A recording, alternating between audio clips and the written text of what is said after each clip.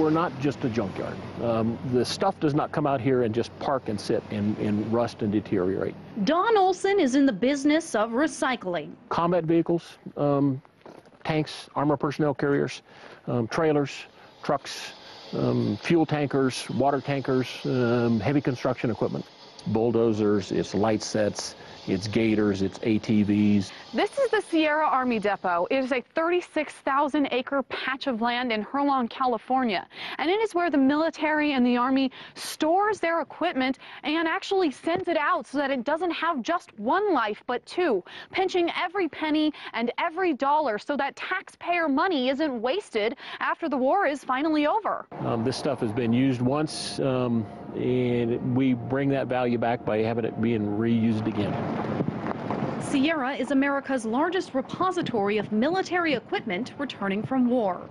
26,000 vehicles and over $1 billion worth of clothing have been shipped here on planes, trucks, and trains. If it can still shoot, roll, or otherwise function, Don and his team take it into inventory, fix it up, and ship it right back out to troops. And we're not just talking about big ticket items. So you can see the workers here that are actually processing the material.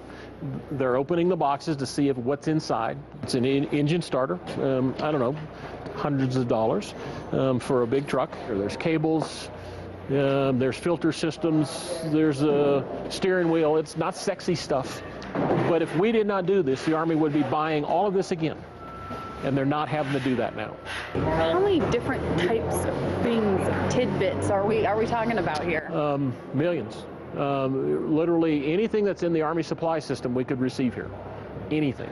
So it's kind of like a big Home Depot where they can just go it, to it, aisle it, C4. Yeah, it, it, it kind of is. In an age where the military's belt is tightening through sequestration, drawdowns, and troop cuts, anyone who can save the Pentagon a penny is quite an asset.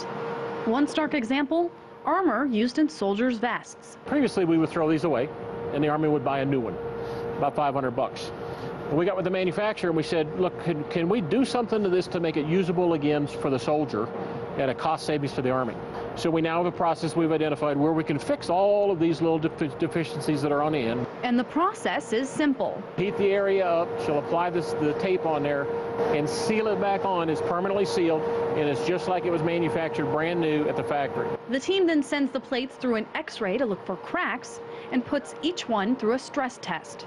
Two million plates and counting. It costs us about $16 each to fix. Um, we've saved the Army huge amounts of money. In another warehouse, workers sort through clothing, then create a kit for individual soldiers based on their size and needs. We pick the items for each soldier, we pack them into boxes, and then we put them on a UPS truck and we ship them out of here. We do this better than anybody in the world. It's the largest scale operation of anybody in the world that does this kind of, uh, of a job. But with the war in Afghanistan finally coming to a close, more equipment is coming in than ever before. The question now is what to do with these former war machines. For that, the military is getting creative.